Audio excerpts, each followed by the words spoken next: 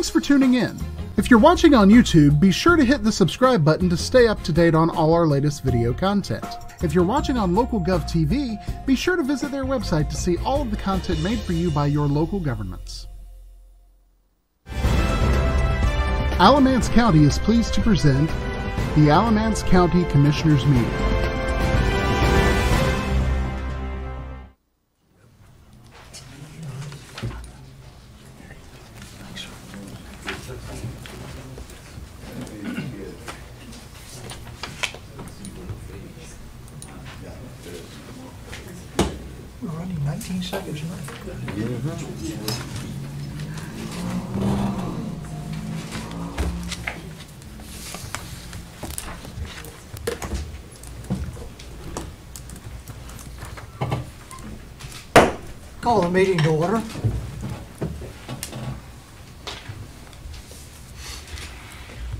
The honor this month of doing both the prayer and the Pledge of Allegiance. So if, let me first start, prior, just prior to the prayer. One, we just had Memorial Day. And I want to thank all of the veterans and officers and, and everyone that has served and or is serving currently. Secondly, we just had D-Day. Um, I was really, really disappointed in the lack of coverage that we had in this country on such a monumental day. Um, we are where we are today because of those, as the many, many times repeated phrase, some gave, uh, gave some, some gave all. And we appreciate each and every one. My wife's father was one of those that was in World War II. He had a B uh, 20, uh, 24 shot down from under him uh, over occupied France, and then a B 17 shot out from under him in occupied Germany. Made it back both times, was not captured. Uh, people like that made our country. Just wanted to start out with that. If we can all bow our heads, please. Our Heavenly Father, we thank you for so many gifts that you have given to all of us in such a wonderful county that we live in and are privileged to be a part of. We pray that you bring us all together in order that we might live together, share all these benefits that we have. We pray that you will help us as commissioners to see and, and seek the truth and to be wise enough to make wise and decisions that you would approve of. We pray all these things in the name of Jesus Christ. Amen. Amen. Amen.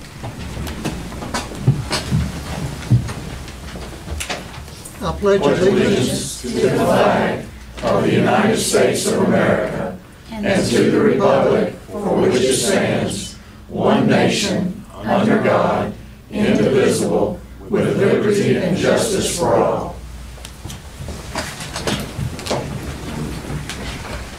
What a privilege to be able to say that.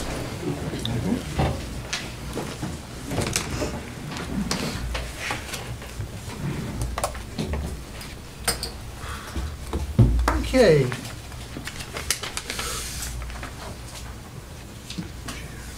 Mr. Vines, you are the only speaker I think that we have that's uh, speaking toward the agenda, so we'll recognize you first. Thank you, Commissioners. My name is Henry Vines. I live 3450 Isley Drive, Snow Camp. And uh, John, I'd just like to iterate what you said about veterans. Uh, My grandpa lost his life uh, in World War II and is buried in France. And uh, my daddy was only 12 years old when he when he got killed, so we we never knew him. But uh, I thank him for this honor to be here and be able to speak. Um, I have just a simple request this, on this, on the agenda, and that is, uh, on the public hearing. Uh, I would just like to ask for y'all, if y'all could do y'all's discussions and, um, before asking the public to comment on the proposed budget, uh, or even after y'all decide which kind of budget you want to adopt. Uh, I know that the proposed budget by the county manager, Uh, and I spoke with each one of y'all, and I know that probably not gonna be what's, what's been presented. And I would just, uh, like to ask y'all if y'all would consider either discussing it first or giving us a second chance, uh, to, uh, comment on the budget. And that's all, and thank you for this time. Thank you. Madam Clerk, I don't think we have any other speakers on the agenda, is that correct? We do not have any uh, speakers on agenda-related items at this time, Mr. Chairman. Thank you.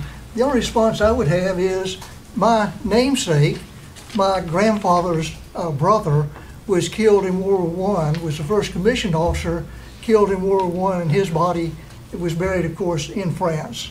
Um, His tombstone is at Bethel Presbyterian Church in McLeansville. So, uh, a lot of people gave. Any other comments? Okay. Do we have a motion about the uh, agenda? Motion to approve? Second. Any comments? All in favor signify by saying aye. Aye. Being Motion to approve unanimous? the consent agenda? Do we have a second? All in favor signify by saying aye. Aye. Again, unanimous with both votes.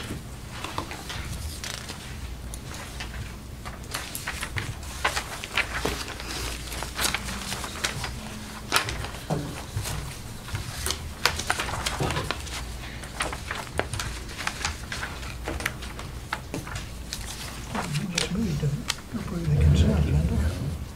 We're going to number seven. Um, Do we have a motion to open the public hearing? So move. Second. Any discussion? Being none, eh, all in favor signify by saying aye. Aye. Again, unanimous. Okay, we are now in the public hearing segment. Um, And not knowing and not asking those to sign up for the public, uh, for the public hearing, uh, I'll start on this side. Anybody on this side that, just raise your hand if you would like to speak. Yes, sir. You've been the only one on this side. Please come forward. Okay, we need to announce, uh, for this segment, unlike the other segments, the other segments, you have three minutes. For the budget hearing, you have a total of five minutes. Uh, And Madam Clerk, are you, are you- or, where's Bruce? I think it was checking the overflow, Mr. Chairman, to see if uh, there were folks over there, so. All right. Mr. Walker, I assume you're doing the clock. Yes. We will gong you after five minutes.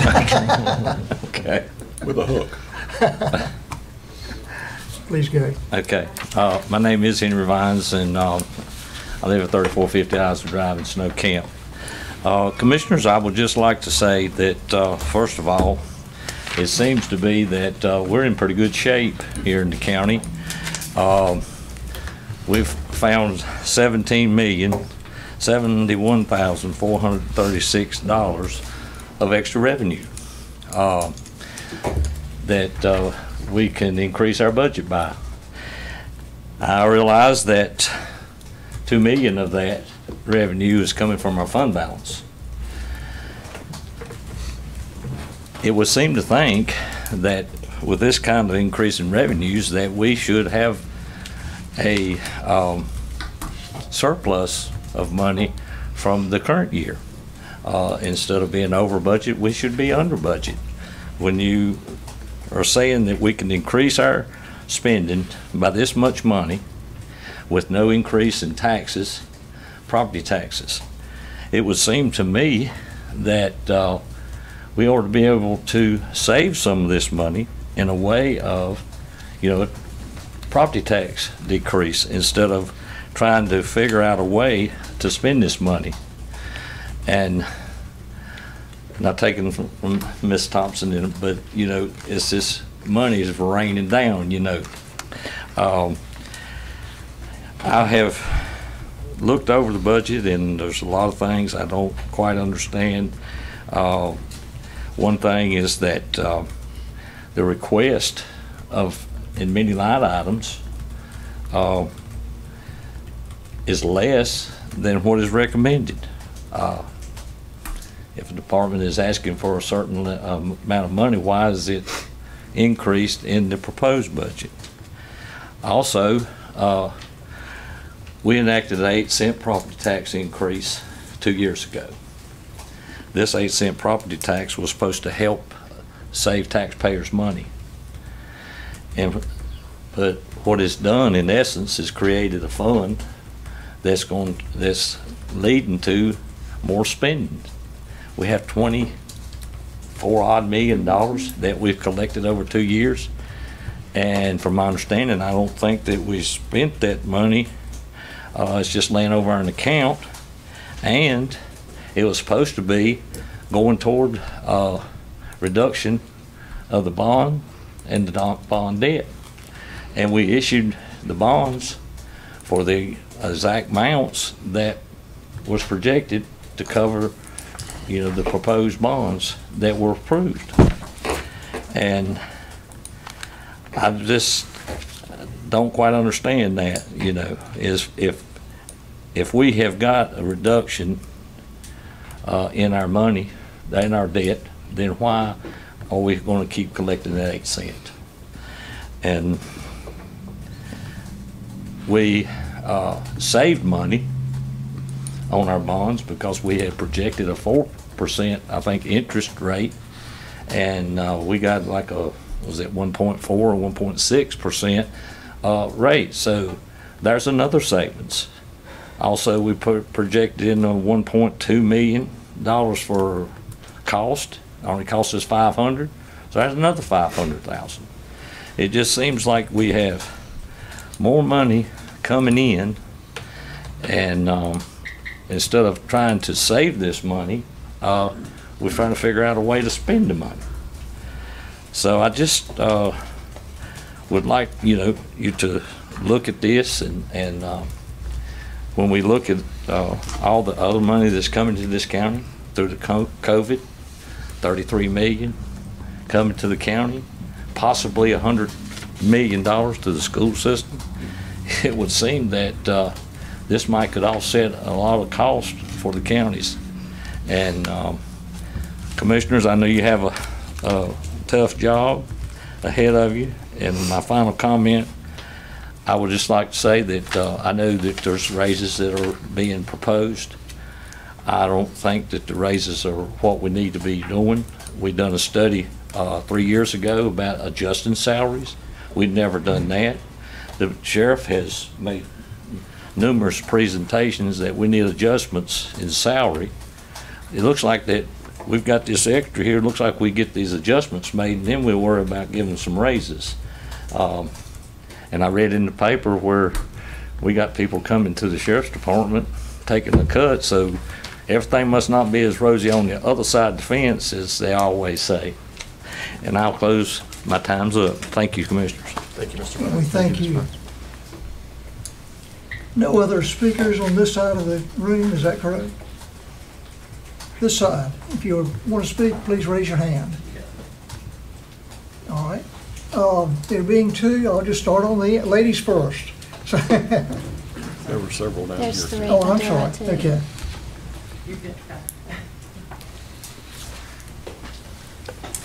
Thank you.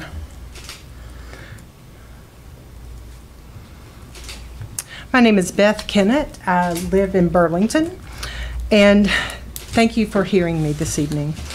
This evening, I want to speak to you uh, concerning the budget for the Alamance Burlington School System. And I ask that you fully fund the Alamance Burlington School System budget as requested. Although if there's an extra 17 million, you could throw in some more. I am very concerned about the state of education in our county. Without fully funding Alamance Burlington School System, we cannot address the challenges that are present. We have all seen how critical public schools are over the last year, especially as we have lived through and, and continuing to live through a global pandemic. In order for Alamance Burlington School System to have all of its tools and resources to support students after COVID-19, we need to grant full funding to the request made by our superintendent for this year's budget. In Alamance County, we need to value robust education that is preparing students to engage in the world, in life, with open minds and curiosity to learn and grow, with appreciation for cultural differences in our community and around the world. In Alamance County, we need to value our educators who give of themselves above and beyond the everyday requirements and expectations to create engaging and interesting learning environments for the children in our community. We need to support those educators and provide opportunities for educators to continue to grow and learn so they can better address the needs in our county. We need to show respect for our educators to whom we entrust the care and education of the children in this county. In Alamance County, we need to value the community leaders who have been elected to represent our community and serve as members of our school board. We must listen to and hear with respect the different the differing perspectives, and we must stand against disrespect and bullying of any kind toward any person. We must learn to work together for the improvement and development of our community. As a community member in Alamance County, I am committed to contribute my time and energy to work to build an atmosphere of healthy community with respect, care, and interest in others who live here. As our county commissioners, I am asking that you join me in creating a healthy culture of respect for education, including a willingness to value the education system that we have and to support it to be more diverse, inclusive, and equitable for all students, educators, and employees. The education system in our community is one of the foundations that supports the, in any community, is one of the foundations that supports the health and well-being of the community. Fully funding the Alamance Burlington School System's budget request is a step to creating an engaged and supportive community. Thank you. Thank you. Thank Ms. you. Kennett. Are you a teacher?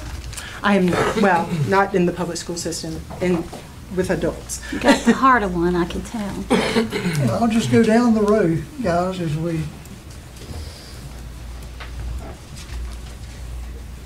Hey, Seneca, how you doing? All right. Hey, how y'all doing? I'm Seneca Rogers, a resident here in Graham, North Carolina. Thank you for the opportunity to address this body concerning the latest ABSS budget proposal. My request tonight is that as county commissioners, you fully fund our schools here locally for the upcoming year. As a citizen of Alamance County, a former ABSS graduate, and also a former school board member, I mean, school board candidate, sorry, education is an ongoing personal concern of mine. Our education system should always remain a top priority nationally and locally. While many were saying that our schools were closed over the past academic year, I stand here now to say our schools were never closed. Our schools simply just looked different. Teachers and students adapted constantly to the ever-changing directives of our school system. As, as with the students and educators, I too had to transition myself from going into an actual office desk to creating a workspace at home. And yet, during this pandemic, the flaws and failings of our school district and problems that came about that were hitting came into full view. Problems with equity in hiring and in funding.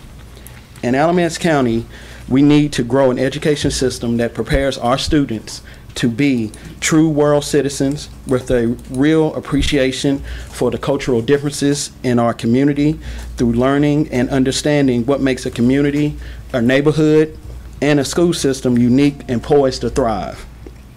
We must invest in the professional development of our educators and administrators so they can know that we value them. Every day, our educators ensure that our students receive the best learning, regardless of the environment, as possible. These educators love our schools and students. We can show them that same love and appreciation for their efforts by making sure that the funding and resources are available to continue working at such a high level. Alamance County grows daily. New housing development pop up every day along our major highways. We have new businesses like UPS that will soon arrive in our community.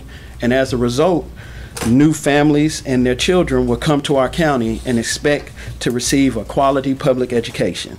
We need to let it be known that we wholeheartedly support our school system, not just with our words, but also with our money and funding. In every election cycle, we hear candidates stand up and say, I'm a huge supporter of our local public schools, I'm a product of our public schools. Yet, when some get elected, they fail to follow through with that huge support. A good friend of mine always says, Show me your budget, and I'll show you where your priorities lie. So, with this budget, you county commissioners have the opportunity to prove that Alamance County's priorities are in line with a robust educational system that strives for a culture of continual improvement. Thank you. Thank you. And thank you.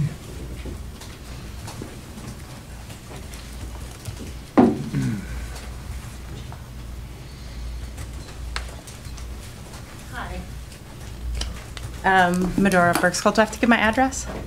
Name and address, yes. Medora Burke-Scholl, 3673 Mebane Rogers Road.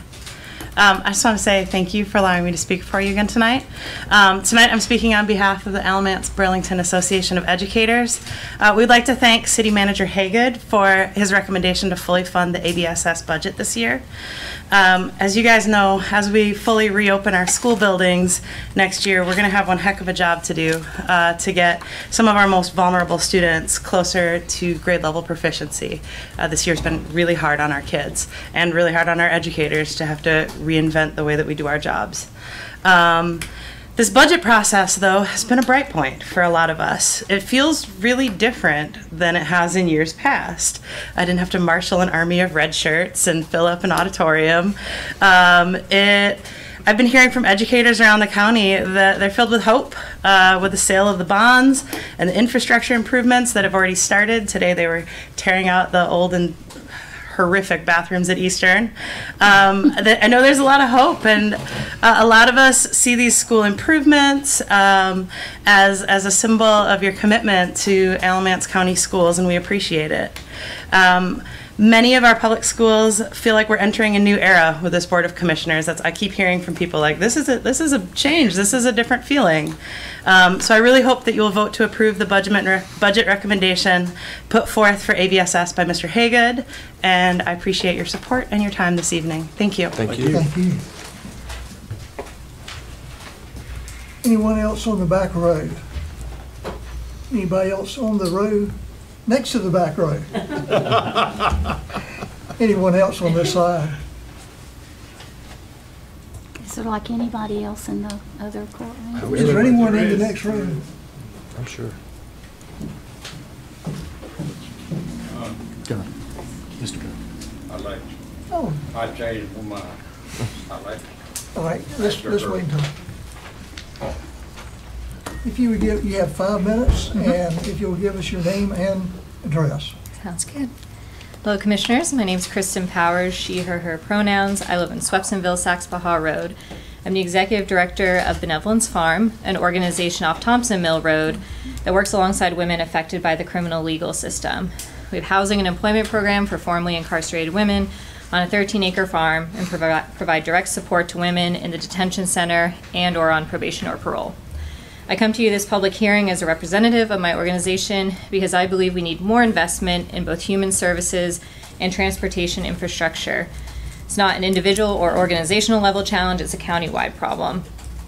And to put it into story, one woman told me as we were supporting her from the jail, the judge today gave me supervised probation, and as he told me, I'm saving your life. But are you? Because I don't have a house, so where am I supposed to register for probation? Are you going to give me a home? I don't have a car, so how am I supposed to report to check ins? Are you going to give me a car? I don't have a phone, so how is the probation officer going to call me? Are you going to give me a phone? How is giving me supervised probation saving my life? I need treatment, not probation or jail. Especially after the last year, her statements indicative of many of the challenges we see women facing in their reentry here in Alamance County. For example, supporting one woman of our many at Benevolence Farm for, who's in recovery, which is frequent considering two thirds of formerly incarcerated people have experienced substance use or alcoholism at some point in their lives. If they want to attend NA or celebrate recovery, we personally drive them or find a volunteer.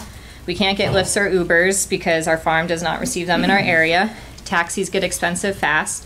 We also cannot schedule rides with transportation services because they don't have the funds to operate beyond the workday when many NA and Celebrate Recovery meetings are on evenings or on weekends and our women work during the day.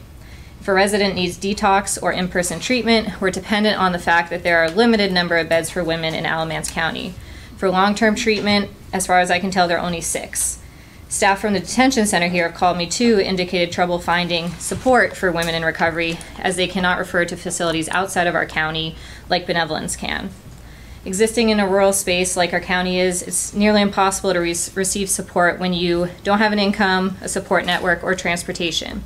The woman whose story I mentioned, she got to court by leaving her the porch she was staying on at 4 a.m. in the morning, walking down Highway 87 from snow camp to get to court on time. It took her five hours.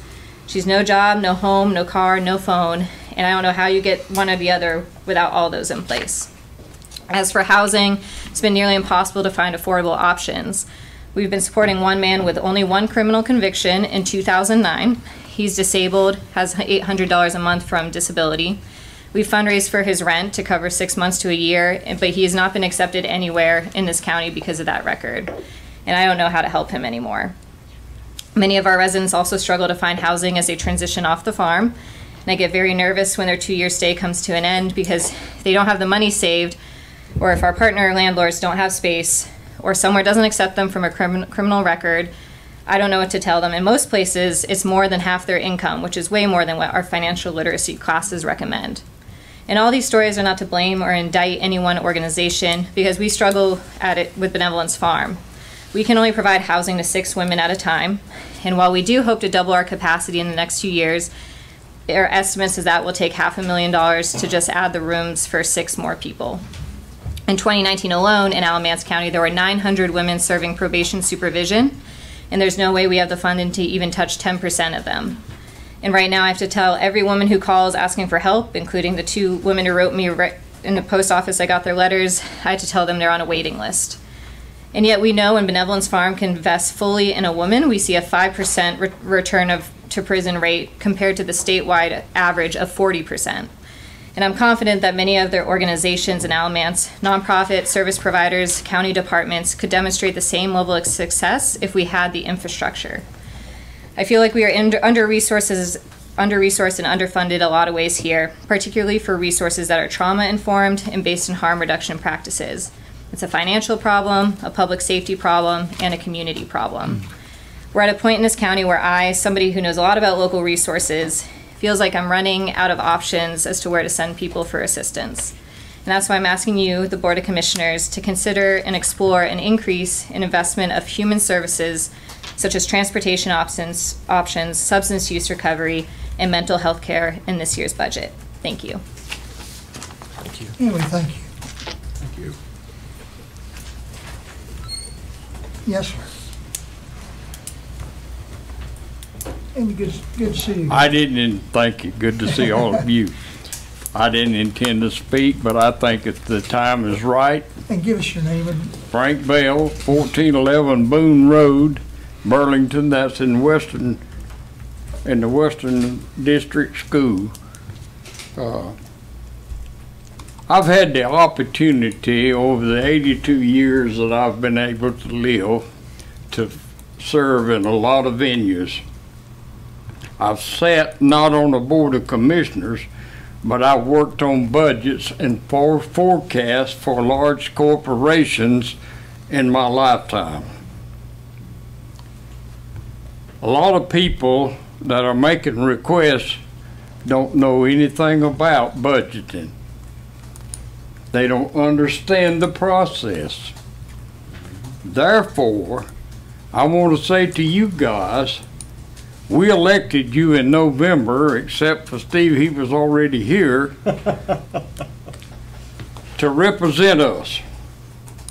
And to sit down, there's more to budget sessions than just sitting down and making discussions and voting on this.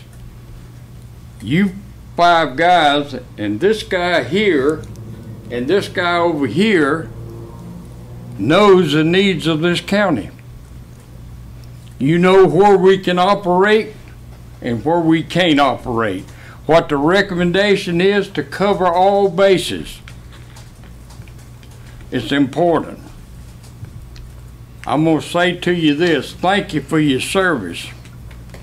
You're capable, every one of you are capable of making the right decisions at the right time. It may not be what I want, and it may be not be what all these people want, but you got the inside. I can't tell you because I'm an outsider. You know the needs and the revenue of this county. I trust you to make the right decisions. Whatever your decisions are, I will support you. Thank you for your service. Thank you, Mr. Bell.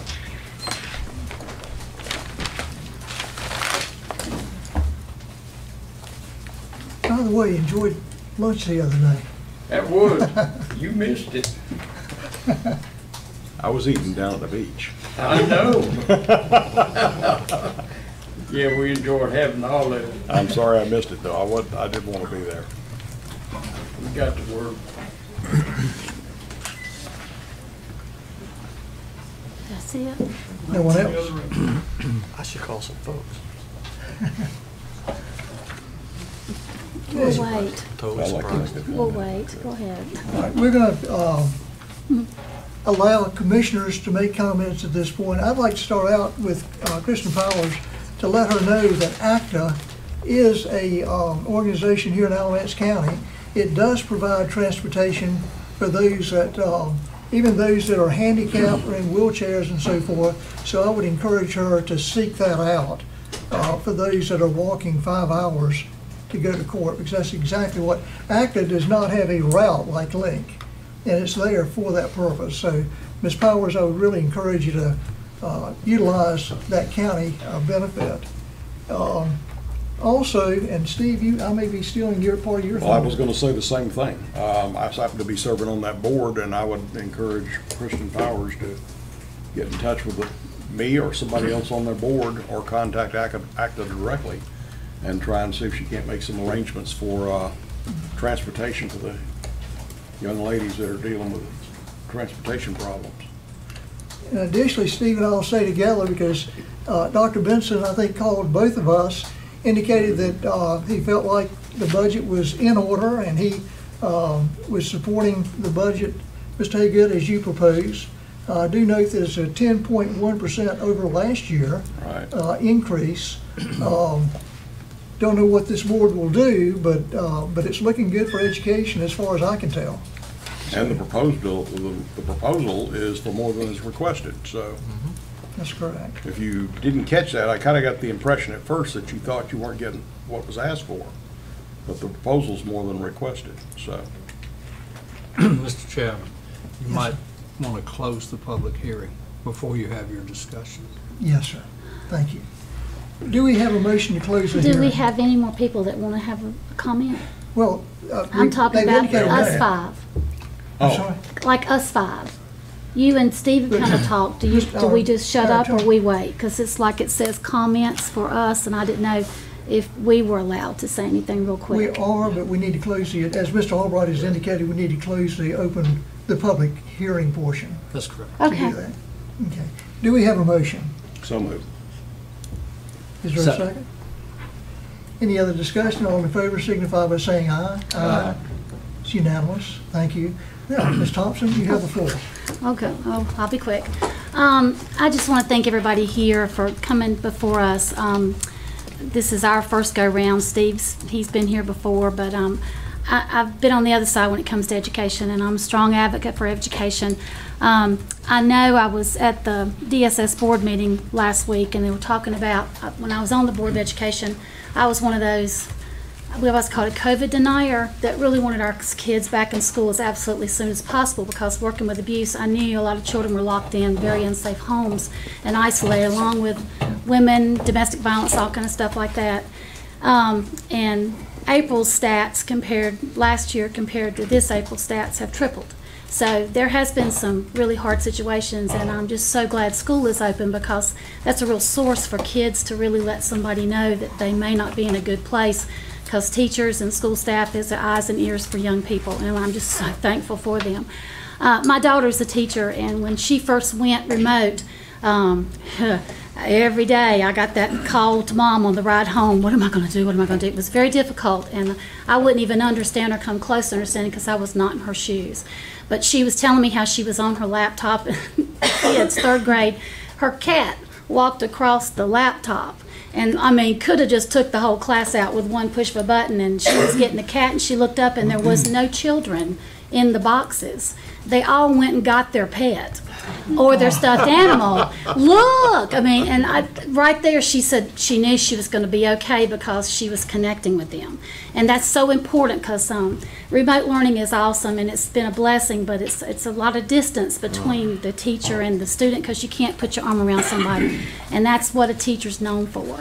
And I'm just so thankful that we're getting back to that. And um, but and I was at Cummings the year before I got off, and was when we were painting the school, Todd Thorpe.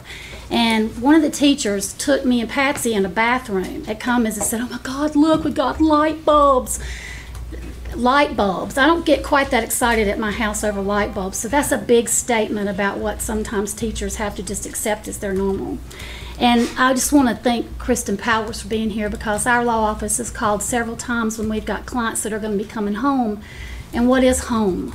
Because usually there's a, a, break in the family. You know, it's just so many dynamics when it comes to stuff like that with bad choices. And they just don't start from the court date. But um, I, I, I'm a big proponent working with drug addiction that we've got to do something when it comes to people that find themselves in this position. You don't wake up one day and say, you know, I think in a couple of months I'm going to be addicted to heroin. I would just do anything. I would rather have heroin than baby formula for my child. I've been in that case with a client. And so it's very serious, and we just can't say, just get over it. It's not like that, it owns you. And we have to really think that and understand that because jail doesn't fix that, it's just a timeout. And, it, and you can talk to our sheriff, our police chiefs, they'll tell you the very same thing. So I hope when I took up uh, financial course at our church one time, the first thing that come out of this guy's mouth is says, "Look at your checkbook, and that tells you your priorities." And he was really talking about tithes, but it also talks about your spending habits. So um, that's a that's a really good thing for us to say. So I just hope that this is going to be the year that we all support each other and come together in a very tough world right now because everybody in this county means so much to all of us. We didn't run just for one person, we ran for all of you. And I just want us to really think about everybody and every type of walk of life and every mindset and the needs that they have. And this money, this COVID money, I refer to that as the COVID ferry, I hope what we can't put in that budget, we can put in there. Because um, mental health, this has been a mental health festival for the last year, and we have got to take care of each other um, because you don't know whose shoes you're going to be walking in one day. Because I promise you, if, if you think about, we all know somebody with cancer. We probably all know somebody that has abuse in their family. And I guarantee we all know somebody has a drug or an alcohol problem because this is a really tough world to beat us up constantly. So I just hope that we will all think about this as we're working together to make sure we put each other first for, for really strong county because I'm so proud of this county. We, we really I always say we're smoking hot, and I really mean that because I'm very proud of this county. We're way ahead of a lot of people, but we've got to stay there and keep going. You never peak. You never peak. So I just encourage us all to really be patient and be thankful, and just be just be thankful. We're all over that curve when it comes to that nasty disease. Now, if our politicians up north can just get their act together, I'd really appreciate it. Mr. Lashley? Uh, I'm just going to be very very quick. Uh, I just want to thank everyone for coming out tonight, and I want to thank all the speakers for um, coming out and letting us hear what, what you have to say. It's really important with our democracy the way it is. That's what we all should be doing, and I'm just a little disappointed, to be honest with you, that we didn't have more folks tonight. Uh, but that being said, I just want to thank everyone for coming out, and I promise you, uh, the citizens of Alamance County, I promise that we're going to take a look at this budget and work real hard to uh, make this budget look like Alamance County citizens want it to look like. And I just want to thank everyone for coming out tonight. Thanks. Mr. Turner. Thank you, Mr. Chairman. I, I, I want to focus my, com well, first of all, I'd like to echo Mr. Lashley's comments and thank all the speakers. who came out and the, and the way that you presented your, your comments and, uh, I mean, I think we're engaging in civil discourse, which regardless of how you feel about an issue, it's good that we can come together as a community and have a, a, a legitimate, good discussion about how folks feel about how you spend your money. Because that's what, that's what this is about. It's what this country is about. I want to focus my comments on education. Um, I'm probably the only, I think I'm the only board member who has kids in public schools. I've got three kids, all in public schools, both elementary, middle school, and high school. Um, and I don't have to tell y'all, it's been, it's been a really hard 15 months. I mean, you guys commented on that. Um, I think a lot of folks, teachers, parents, principals are, are happy to put the year behind us. And it, it kind of brings up this idea about, ma'am, you mentioned about hope, that there's hope for, for the future with ABSS. I think that's true. Um, I think that's true with respect to the, the bond money that we're spending. We broke ground on a- on a new high school last week. Um, There is what I think is a, is a reasonable request from, from ABSS. Um, And I think it, it's, we've asked the um, superintendent and the, the board, the school board to, to have a plan, to operate on a plan. We've talked, the two boards have, have communicated, and we, and with the county manager, have developed an idea, a plan that's workable, that's, that each board can sort of count on in terms of potential increases year to year, and I think the school board is operating on that, and I I applaud that. Um, So that's one reason I, I, I like the, uh, I think we ought to fund the, at least the ABS portion, the ABSS portion fully. Um, The second, Mr. uh, Mr. Rogers mentioned the commitment to educators. And the way I understand it, the, uh, a substantial portion of the requested increase is so that we can give supplements to teachers who are outside of ABSS, so that when they come into ABSS, we can pay them the supplement if they met the criteria, which we can't do under the current policy. And that, what that actually does is encourage highly skilled, educated, I mean, um, experienced educators to come into Alamance County. And I think that's a benefit to our students. Um, And I think it's important, also because of the message that it sends, and it goes back to hope, that I think it's, it makes sense to be able to say that the county commission has fully funded ABSS's request. I'd like to go home and tell my kids that. I'd like to tell their teachers that. I'd like to tell their principals that. Um, And so I think when we look at what this county can contribute to the education of our kids, it just feels good to say, we've given you what, what your educators have asked for. And so I think whatever we do, that should be a priority for the board. Vice Chair Carter. Well, you only left out one segment of the education process, grandparents. And I can't take any credit for that. There's a grandmother sitting in the front row who spent a lot of time with her grandson while he was remote learning. And uh, so I can tell you from observation, from the observation perspective, that it took a lot of time and a lot of effort. And uh, I definitely appreciate what was being done. Um, And we, and, and having had an opportunity to watch teachers going through the process of trying to communicate and losing their systems or having to deal with their own children who were at home, Or cat. um, I know it was not a simple process. So I think what you have in here is a board that totally appreciates the need for a quality education for our citizens. And uh, I'm not trying to take anything away from previous boards. Uh, Previous board members have had a lot of passion for education, but we are doing, our county is doing much better financially than it's done in a long time. Um, The the growth in the county, in particular the growth in retail in the county has helped us out a lot.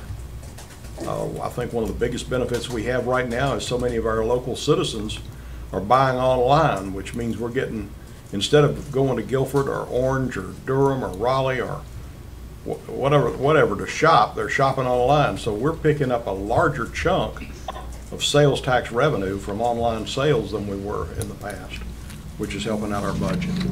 Um, Now the job is for us to get our people back on par. I mean, we, as, as I I hope most of you've been able to hear, we've had a sheriff's office where in spite of the fact that, I don't want to even get into what was in the paper this week, but anyway, um, very fortunate to pick up a couple of really good officers from Burlington PD, and uh, that was their loss, our gain.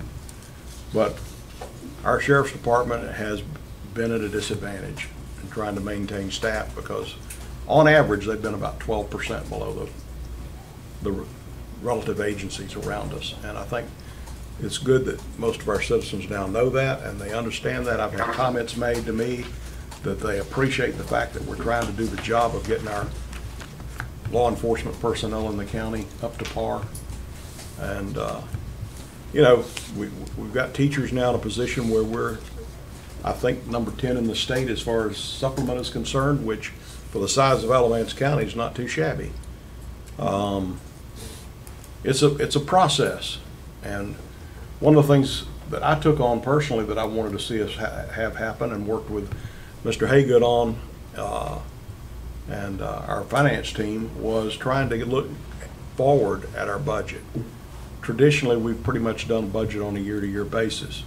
This year, we've got a three-year forward look on the budget. I'd like to see us get that out to five years. That way, we can kind of anticipate some of what's going on. Um, We've got growth coming to Alamance County. Uh, Since we've been here 20, almost 20 years ago now, Alamance County's added almost 30,000 citizens. And right now, between now and 2035, which is 14 years, we're projected to grow another 30,000 citizens. And just simple basic math leads me to believe that that may mean another 5,000 students in our school system. Um, But that also means all the ancillary issues that you have to deal with, law enforcement, drugs, treatment, and so forth. So as commissioners, we have a responsibility to try and solve not just this problem or that problem, but to try and find resources to solve all these problems. And it's, it's not easy. And we really value the quality of our team, our staff, to be able to look at these numbers. And if you, I, I give you an, I, I think several of you were in here when I picked this up. Now, personally, I've told the other commissioners, I'd like to see the Cliff Notes version of this book. This is the ARPA guidelines that tells us what we can spend this thirty-some odd million dollars that Alamance County is gonna get. Now, that's, that's gonna take a day or two to read, folks. Um, and I'm not a speed reader, so, uh, it may take me more than a day or two. But we've got folks reading it for us too, getting us, getting us into it and find out what's going on. Um, I appreciate all of you coming out tonight. Uh, As, as, as Mr. Lashley said, I would have liked to have seen more people make a comment. Um, But our intent, intent is to try and find ways to spend this money to help our citizens and at the same time try and find some relief for our citizens that are paying the taxes. We had to go up. At some point, we'd like to see it come back down a little bit too. Got to be a balancing act. We've got to take care of all these needs. And we just thank y'all for coming out tonight. Thank you for the time to speak. As the other four commissioners have already said, I also would like to thank everyone, both those in person and those that are on video, for listening, for paying attention, and for your comments. I really appreciate it. Um, The ARPA notebook that he's talking about, I picked mine up last Friday, and it's already being amended. Yeah. So that gives you just some idea of what we're going through. Um, You know, we're getting guidelines from the state and the federal government um, almost on a daily basis, and it's a moving target. And so that's, uh, does not make our jobs easy. Um, How many years did you teach? Uh, about twenty-four, total, but I was eight years at Haw River.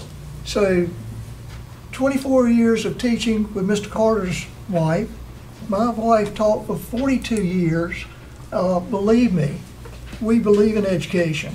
I put four children through the Alamance Burlington school system, um, and they all have, at the minimum, a master's or MBA at this point, and two have doctorates as a result of the Alamance Burlington school system.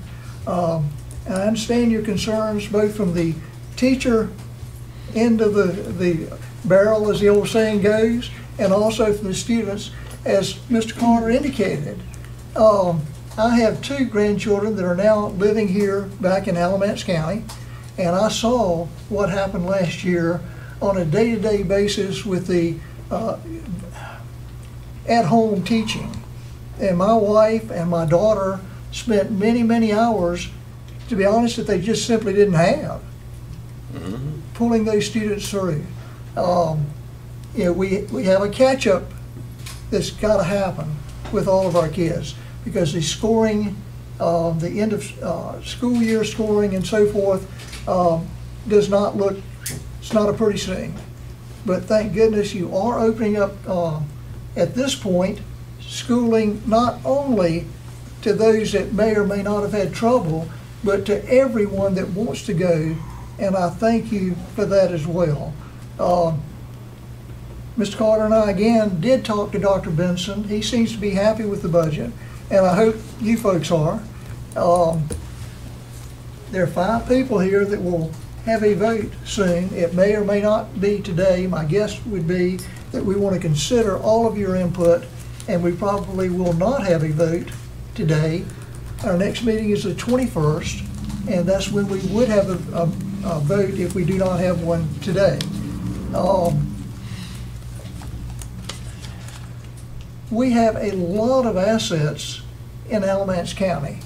Um, as we just mentioned with one of the speakers, Ms. Powers, um, a lot of the assets are, are simply being overlooked. And we would encourage all citizens to pay closer attention to this county.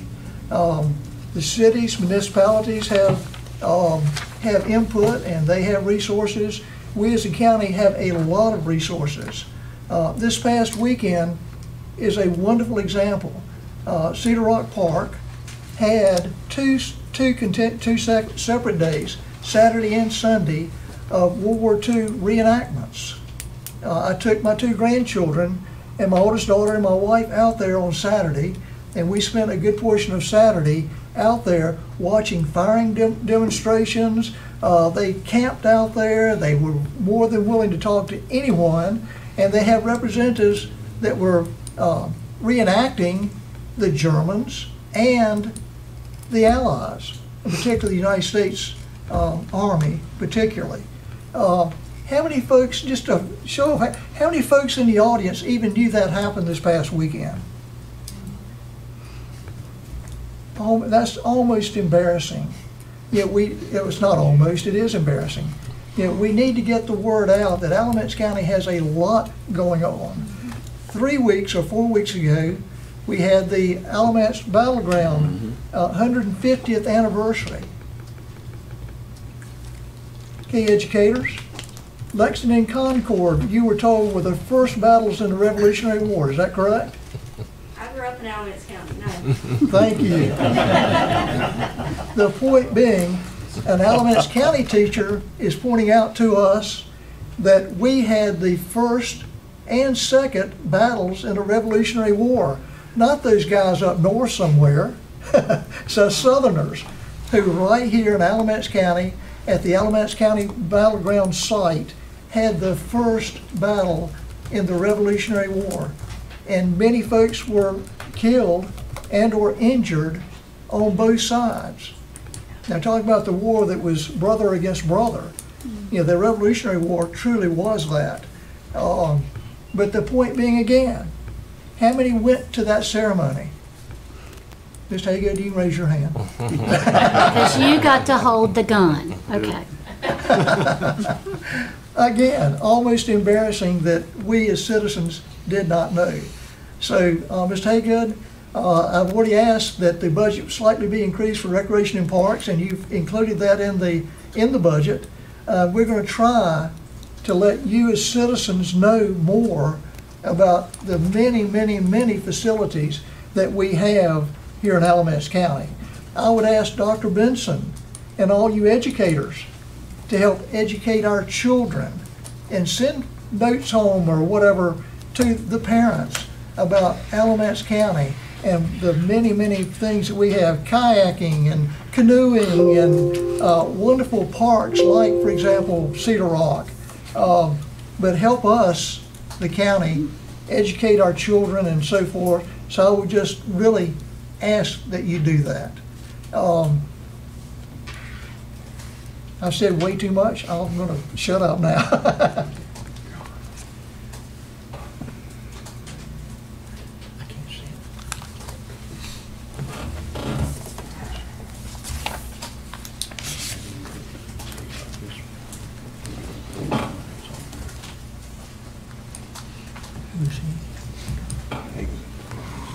Mr. Hagood, you've heard from the commissioners, you've heard from the public. Do you have additional comments that you would like to make? No, I, I would uh, echo what the board has said. Appreciate uh, citizens making the time to come out this evening. It's a very important part of this process. And uh, just, I would encourage all the citizens listening or watching by video, the recommended budget, all the documentation is available on the county's website. It's part of the packet that was sent to commissioners, so it's posted online uh, as well as on the uh, county's uh, homepage. There's a link from the homepage. So uh, if you're at home and uh, you want to take a look at this information, it's out there for everyone to see. And I encourage citizens to take the time to look it up. Thank you. Thank you. I want to make one last comment. Um, We do have a school board member. We really appreciate your being here. Um, I know some of the staff members that you folks have uh, that are not superintendents, they're not um, you know, department heads and so forth, um, that don't get the supplements and they haven't had raises, as I understand it, in a number of years. So I would just request, and I know there are other school board members that are listening in, I would ask that each and every one of you look at some of those salaries that have been frozen for a number of years for some of your personnel that work underneath the directors and some of the others that aren't on the increased salary. So that'd just be a request that you look at it. Okay. Ms. Connolly, uh, the planning department, I think you're next. Oh, I'm sorry, I was. I can hide well, not that So tonight, y'all have on your agenda, there are two planning board positions open right now. You have before you two appointments that planning board voted on at their April, let's see here, sorry, May 13th meeting. You have before you, they recommended Mr. Philip Cobb and Miss Cindy Ellington Graves. Uh, You have the list of all the applicants that came before that board, and the planning board made recommendation of those two. Uh, They did invite each one to come, and some came, there were a couple by Zoom, and there were a couple that actually didn't get to attend. But um, after discussing and having them talk to the board members individually at the uh, board meeting, they all got to talk to each one and decided to move forward with the two they're recommending. And I would point out that we appointed a, uh, a third member, or one member at the previous meeting. So that vacancy has been filled. Right, with these two, if these two get filled tonight, that will actually fill the planning board for, they've got a lot of work coming before them even this month, so they have a need to fill these two seats. I'd like to make a comment too. I- I have to say, I re, reading over all these applications, we have a really good depth of interest and service in this community with a lot of experience, a lot of knowledge, a lot of training. Um, I would encourage anybody who doesn't make it, didn't make it to the, the point of being recommended tonight or, or getting approved, to please don't feel, uh, like we don't care. We do care. We do, we do value the, the kind of experience and knowledge that- that's coming to the, Well, we do hold applications for two years. Uh, each year, at the end of the year, we, some type of seat comes up, whether it's a reappointment or I do have at least one person whose terms are expiring this year. So it, their applications will be with us and will come before you all. and We call each time to be sure that they want to be considered. and I am a non-voting of your board, uh, did attend the meeting and heard from each and every applicant, and I was very, very, very pleased at how qualified pretty much everyone was. Uh, All right, you have a recommendation from your board. Right. Those names are, Philip Cobb and Cindy Ellington Graves. Motion to approve. Second. I got a question. Are you gonna, um, make a vote on both applicants? You're gonna make a vote, are you gonna vote on both we can separate them or we can keep them together. The motion at this point is Yeah, like together. the Motion's to approve them together, yes. I think we need to vote on them separately, if that would be okay. Would you amend your motion? I'll amend my motion to uh, approve, uh, vote on the approval separately. Thank you, Steve. Would the second approve that amendment? Yes. Thank you. All right. And which one are we voting on first? Well, the first one on the list is uh, Mr. Cobb. All right. Any other comments at this point? We have a motion, a second? Oh, on this, Well, This is Mr. Cobb, correct? this is correct, Mr. Cobb. Mr. Cobb alone. Are there any comments? I just said this at the last meeting, not anything to do with Blake Cobb. I've known him since he was in diapers. But I do not support family members being on the same committee at the same time. That is nothing against anybody personal, that is just a principle that I have, and that's it. If this was George Bush and Jenna, I'd say the same thing. I'm just, I just, I just have, I just have a conviction about that, and that, that's it. It's not a person, it's just the principle of that. Now, it's my understanding there was to be a transition involved here. Is that not still correct? Not for this. When y'all Not did for Rodney this Cheek and Andrea Cheek, you did. Okay, Uh, I'm Andrea came sorry. off and Rodney Okay. came on. This is, would be serving at the same time. Can't remember when Ray's terms are up, I'll be honest. And while, and, and at the same time, like what Steve was saying, Alamance, it's like church. There are better singers watching the choir.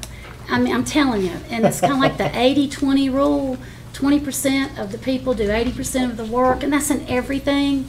Um, I just, there's so much talent in this county. I just hope everybody will, will step up and get involved in their county because we don't, we just, we just need all kind of different mindsets. Nobody needs to all think the same because me and Bill could be complete opposites on something, but put that together, there's a lot of really good things you can take out of both ideas. So I just encourage us to really think about that. Become more active in your county. I agree. Other comments? I- I'll just say that I've talked to both Mr. Cobb's. um, Mr. Philip Cobb's a a younger guy. I think that's, that's good for the board to have a little youth on it. Um, He's a general contractor, he knows the county, grew up here. Uh, By talking, after talking to each of them, I, I feel confident that they each have an independent mind and can vote their own conscience, and I don't have a problem with it. Any comment? Oh, I just feel like Miss Thompson, I don't feel uh, comfortable with a mother, um, a mother, daughter, son, father. I just don't think that's uh, the proper place to be. I don't, I, and I I think, like Miss Thompson said, Miss Cobb, uh, Mr. Cobb is extreme, he's qualified, no doubt about it. But I just don't like the, the scenario. Nothing else. Mr. Carter, any comments? Uh, um, I attended the, uh, my comment. Um, Feel like Mr. Cobb is well qualified, as are a number of the other applicants. Um, I think he'll do a good job, as uh, Mr. Turner indicated, he knows the county, he knows um, a lot about construction and things that'll be required for that board. Um, And I plan to vote to put him on the board. Um, Any other comments? All in favor of Mr. Cobb signify by saying aye. Aye. All opposed? No. I believe it's three, four, and two against. Mr. Albright, I think that's an approval, is it not? It is. Okay, thank you. I just wanted you to say that. Uh, Okay, then the second half of your motion is uh, for Sandy Ellington Graves, is that Yes, correct? That's correct. And we have a motion and a second. Yes. All right. Any further comments regarding Ms. Graves? All in favor signify by saying aye. Aye. Okay, again, unanimous. Thank you. Thank you. And I'd like to congratulate uh, you for having a full board, by the way. Thank you. Uh, And you have two good members, but again, I agree with Mr. Carter. I would really encourage those that were not chosen tonight to continue to stay active. There are other boards in the county that they can apply for positions, uh, and later possibly the planning board. That's right. Every year we turn something up, so that's a. Thank you. Thanks. Okay. Ms. Evans? I believe that Kathy um, Holland was going to join us through Zoom to present for the elections tonight. All right. But if she's unavailable, I'll be glad to do so.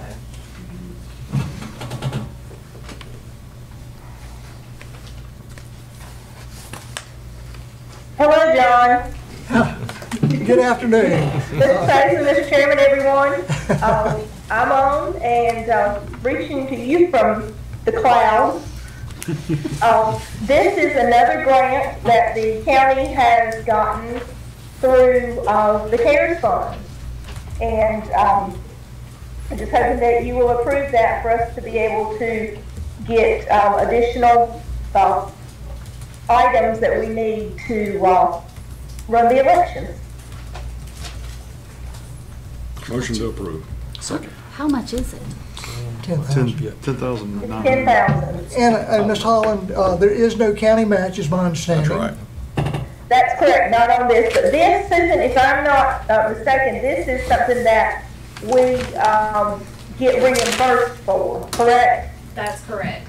The, uh, Mr. Chairman, the other funds that we have gotten have been funds that we get uh, upfront. And this, this grant, the state is asking that we spend the money first and then we get reimbursed. We've already gotten reimbursed for what we've spent so far. Bless their hearts. All right, just the way it's supposed to And be. Ms. Evans, nothing comes out of the county budget once we get reimbursed. That is, it costs us nothing. That's correct. Thank you. We have a motion and a second. Any further discussion? There being none, all in favor signify by saying aye. Aye. Again, unanimous. Thank you. Thank you, Ms. Holland. Yes, sir, thank you. Bye-bye. Okay, Ms. Evans?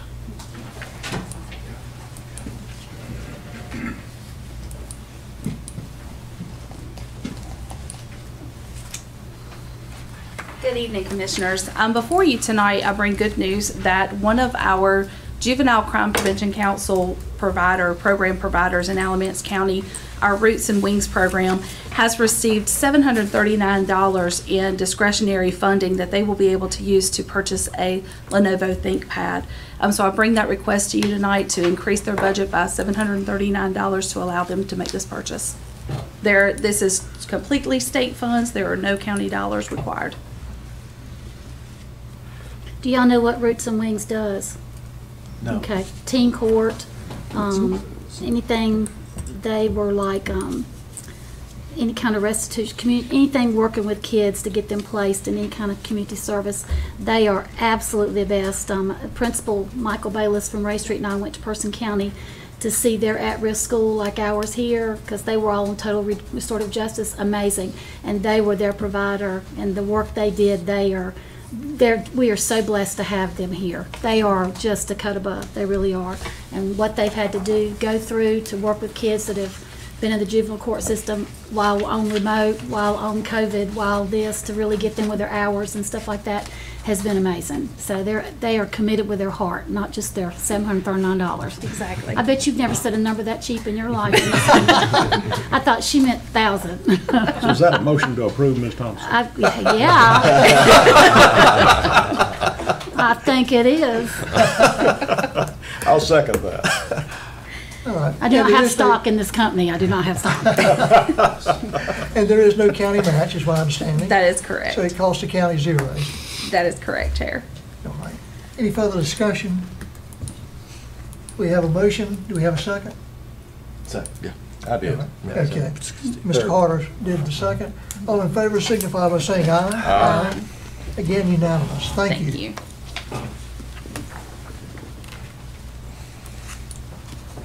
And Ms. Day, is she on Sky I believe uh, Sullivan. Ms. Sullivan will be presenting, Mr. Chairman. All right.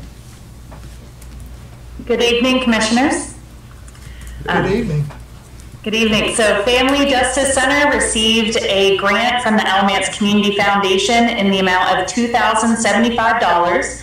Project funds will be used to add um, interactive equipment in our children's playroom, which our children utilize while victims are receiving services at the Family Justice Center.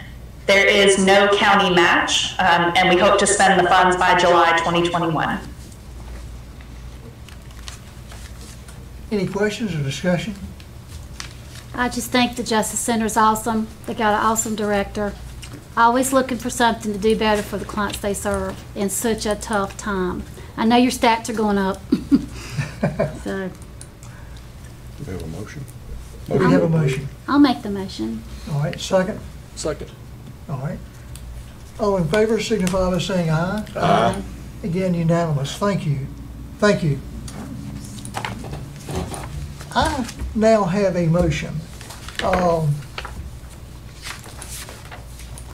now Let me go back and find my note. Uh, A previous board passed a motion, and, and uh, Madam Chairman or or Mr. Albright, if you can help me, I'm not finding my note, uh, which said that anything to do with the budget could not go on the consent agenda. Uh, Was that 2009 or 2012? I've forgotten which year. Um, Um, uh, We have, uh, Tori had sent that information And she did. to and I- me, I'm having and trouble I'm looking to finding see it. if I see that email. I do not see that email with those minutes, but uh, there were minutes from a Board of September 2009. September of 2009, where the Board of Commissioners voted that, um, at- uh, correct me if I'm wrong, Tori, I think before that point, budget amendments had at times been on the consent agenda. The board at the time voted to take them off and only, and hear them live uh, as individual items. The reason I'm making this motion is for us to amend this is we have seven hundred and thirty-nine dollars and two thousand dollars. And we're spending 10, 15 minutes to approve it. Why would that, and it costs the county zero dollars. It's just a gain, gain, and we're killing ourselves time-wise and otherwise. I think that these small amounts where they cost the county zero should be able to go on the consent agenda. I agree. I don't see any reason not to be able to do that. Mr. Albright, do you have any idea Your, about? your why? budget ordinance is a local law. And you're amending a local law, even if you're changing it by a dollar. That's Beg why. pardon? You're amending a local law. The budget is a ordinance. It's a law approved by the board, a local law that governs spending. So if you amend that, you need a little bit more formality and a little bit more discussion. You don't have to take a lot of time to discuss it, but I think that's why we did it in 2009. Do we need to give a public notice, or what would be the proper manner? We just put it on the agenda, as you've done here, uh, in the form of a budget amendment, just to let the public know that the ordinance that's been passed is being amended. What's the, Excellent. what's the amount? What's the amount? What's the threshold that you're looking for? If it's costing the county zero, uh, I'm not sure, you can always pull it off the consent agenda. I mean, any, any commissioner can take it off the consent agenda just by making a motion.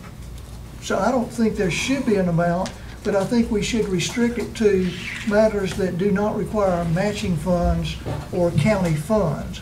But if it's count, costing the county zero, um, and benefiting us as county residents, then I don't think we should set an amount, would be my suggestion, suggestion. Um, But now, did, did I understand Mr. Albright correctly? You said that, that it required discussion? Yes, I would, I would suggest you let me take a look at this, um, rather than the few minutes I've known about it tonight. Uh, But it, the, the whole premise of a budget ordinance is to fix in a local law the amount of money that's going to be spent as outlined in the budget. And Would you you- may, you may have a budget amendment where you're having to spend more money rather than get Right. money in. And that's why we changed it in 2009, to make it a little more formal than just on a consent agenda. That way it keeps every, keeps people from sliding things under the radar. makes Exit sense. water. Would you, uh, create a proposed, We can certainly look at it. My, my staff and I will, both of us look at it, and we'll get back to you on that. That's a staff and if right you work there. with, work with Mr. Hagood to, and Ms. Evans to pull that together, I'd be very appreciative. Sure. Glad to.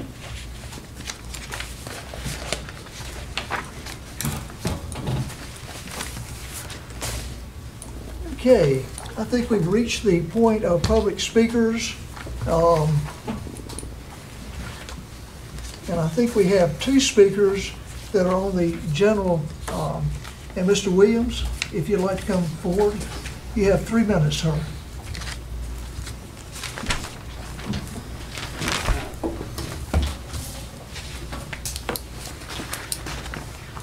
Good evening. My name is Dennis Williams. I 150 Lands End Road, Morehead City, North Carolina. So I come a long way to spend some time with you tonight.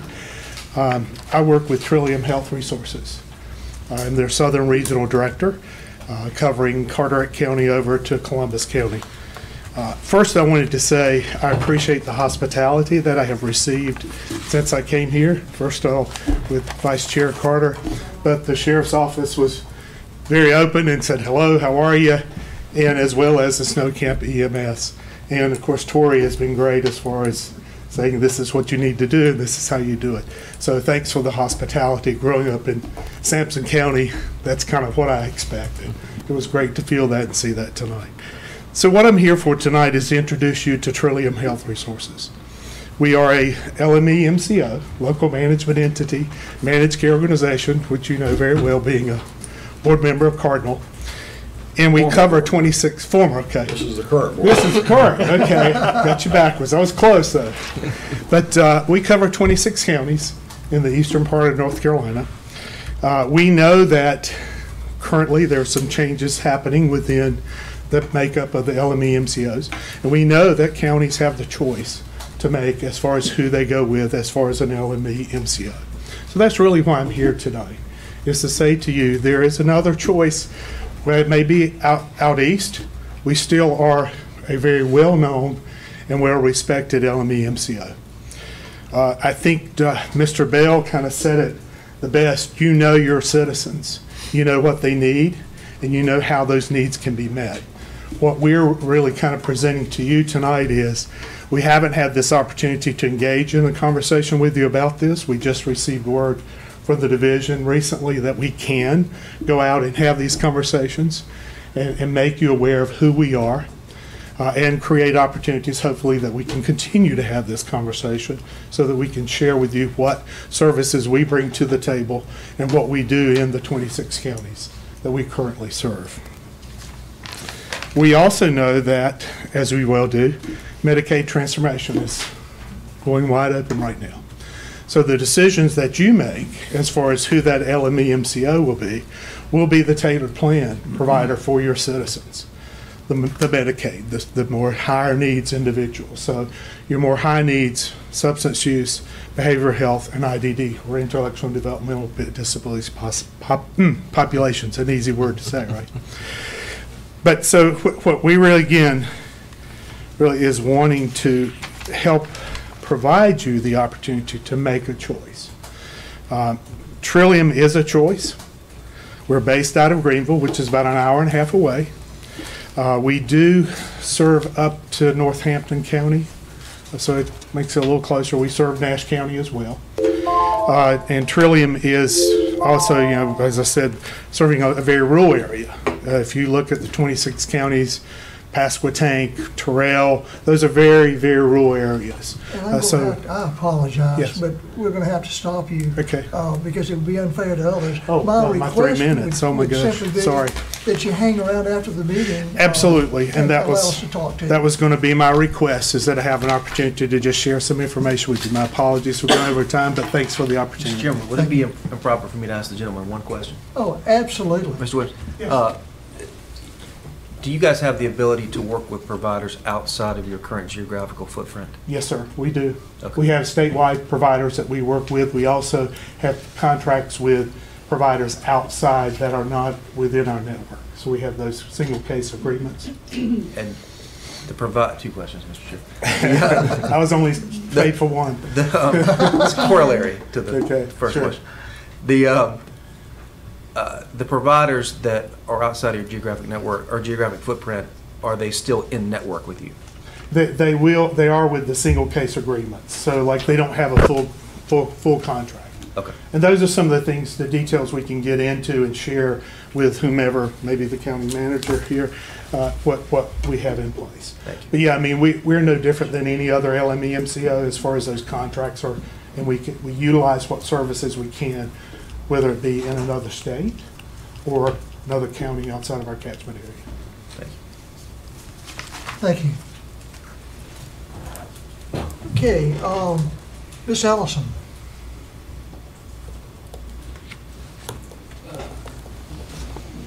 In the overflow room.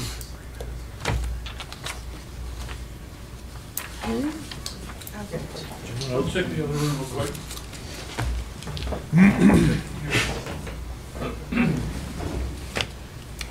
Okay. Okay. Well, we'll continue on. Uh, Comments of the county commissioners as to the public speaker. I would just have one comment. Um, Cardinal is merging, as I understand it, um, with Vaya. That is correct, Mr. Chairman. I had a little bit of info I was going to cover under the manager's report, but please. We'll we'll wait until the manager's report then. Thank you. All right. Any other comments?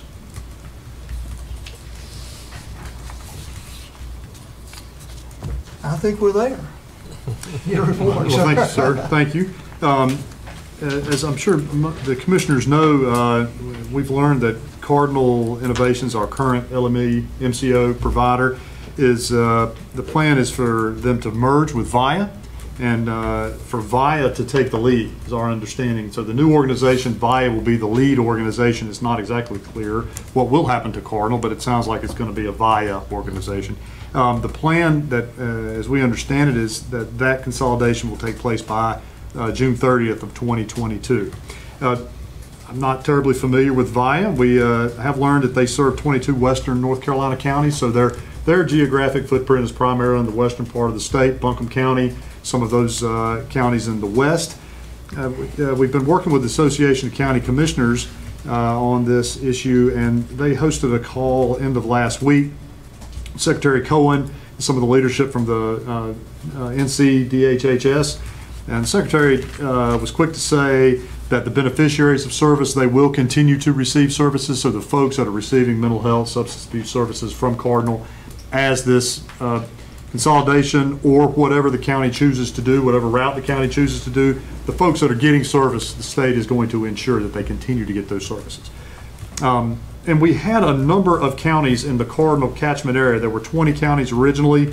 Uh, A number of them uh, have been given permission by the state of North Carolina before this, uh, before this consolidation to leave Cardinal. So there is a process where if counties are unhappy or for whatever reason they want to leave their LME MCO, they can go through the state to do that. There were a number of counties in Cardinal's catchment area that had either gone through that already and give, gotten uh, blessing from the state to leave Cardinal, or were in the process. Uh, Charlotte Mecklenburg did too, didn't they? Yes, uh, the, the list that I have, and it's a little unclear to me which of these are actually already out of Cardinal or, or, or, or in that process, are Mecklenburg County, Forsyth County, Stanly County, Cabarrus County, Union County, Orange County, and Davie County. No, so these counties are either already out of Cardinal or on the way out. And the state indicated those counties that have already gotten that approval or in that process will be able to continue to, to leave. But counties, uh, you know, so we've been told Cardinal and Vaya will merge. Vaya will be the lead. The state has indicated that uh, counties may re, may request disengagement in light of this. So if we were to decide as Alamance County we were not happy or wanted to go to another LME MCO other than Vaya, we have that opportunity to do that. There is a process that runs through um, DHHS, but uh, we have been told we have that ability. We don't have to go with Vaya. Um, And we can, as Mr. Williams mentioned, we can start having discussions with other LMEs in the state, right? So if there are, I think a number of the uh, ones uh, that were Cardinal counties. We're talking with Partners, which is another, uh, another LME in the state. Of course, we have uh, Mr. Williams here from Trillium. So there are some other LME MCOs that we can start talking to. But the state has indicated they would like for us to have these discussions very soon with these other LME MCOs. In fact, Secretary Cohen uh, asked counties to try to be able to say by the end of this month, this is all happening very fast, uh, if you, if the county wants to stay with Cardinal, or if we have found another LME MCO that we would prefer to go with. Uh, The state was again quick to say, they know that's a quick turnaround. This would not be an irrevocable decision, but I think they want some level of commitment from Alamance County and all the other Cardinal counties. Do we want to go with Vaya and just stay with them for a year and, and, or some time period and reevaluate, or go ahead and make a decision to go to somewhere else? Uh, so whatever we tell the state, not irrevocable, but they do want to know. Um, the CEO of Vaya, Mr. Brian Ingram, uh, did call me end of last week and left a voicemail. I have not spoke to him, but he also would like an opportunity to talk with uh, the county commissioners or some representation from the board about who they are and what they do. So uh, this has been a little unlooked for. We knew that a lot of counties in the Cardinal area were having issues with Cardinal, but the, the possibility of them consolidating was, was a little bit of a shock. So uh, timetable is very fast. We need to start thinking about if we don't want to stay with a Vaya Cardinal consolidation, who might we want to go with and have those uh, conversations very quickly. So it may be, you know, our next meeting is um, June 21st. Uh, I don't know if it's going to be possible to, to go beyond July 1. The state really wants us to have some level of discussions uh, and have some idea of what we want to do by the end of June. I don't know if the commissioners would be interested in selecting maybe two commissioners to be involved in those talks with these, or all of them. It doesn't matter. It's, it seems to be moving very quickly, but we really need to try to evaluate what these other LME MCOs are offering, their track records. Um, we've reached out to some of our peers in other counties and already trying to get some feedback. Are you happy with your LME MCO? You know, we we had some issues with Cardinal, uh, so we know what our issues were. We're interested in hearing um, from Trillium and from any other LME MCO. How would you address our specific issues that we've been having? Uh, so it, anyway, it's uh, it's it's a a big change for um, who will provide or, or at least manage mental health services and substance abuse services uh, in Alamance County. But I was comforted to know that the state has indicated the priority will be that the folks getting service will continue to get the service no matter who is providing it. So um, staff is working on this. If commissioners want to be engaged in specific talks with um, representatives from these uh, LME MCOs, you just let me know and I will loop you in. I'll keep the board informed, but if anyone has a specific interest about wanting to talk to someone like Mr. Ingram, uh, I'll, I'll set up conference calls, whatever we need to do. So. Let me indicate, Ms. Haga and I met this past Wednesday, um, and we discussed uh, all kinds of providers, Trillium being one, for example, Vaya being another, and, and, um, and several partners and some of the others.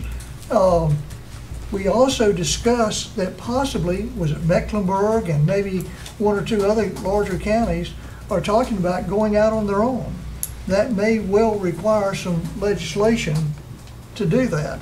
Alamance County, um, I was very, very involved in mental health and was on their board and was chairman of their board for, in fact, I was district-wide chairman for uh, the area between Stokes County and Durham County at one point um, many years ago. So I'm very, very familiar with that process and what's going on. Um, I would like for us to at least have two of the board members, myself being one, um, and either uh, Mr. Turner or Mr. Carter, both of you having been on Cardinal, uh, one of the two of you, or maybe three board members. Uh, we don't want to violate any open meeting laws. Um, but uh, set up a subcommittee, you know, to discuss those issues. I'd also like to discuss this with our state senator and two House members and see what is on the uh, horizon from a state standpoint. Um, Alamance County had, if not the leading, certainly one of the leading health, mental health departments uh, in the state of North Carolina. Um, you know, before Governor Hunt dissolved or required, got legislation passed to dissolve the local mental health boards. Um, you know, we were such a um, positive unit that we would go to seminars across the state, um, and we would train other counties how to pull, or combination of counties, how to pull things together. Um, You know, we possibly can do that again, but that is a large bite. Um, And may or may not be expensive, we don't know with the uh, COVID monies and with everything floating around. Um, Do we have to make a decision? I know the state wants us to, but I think it's somewhat unreasonable to make a decision by May, uh, June 21st. Do we have to make that decision, or can we float for a month or two?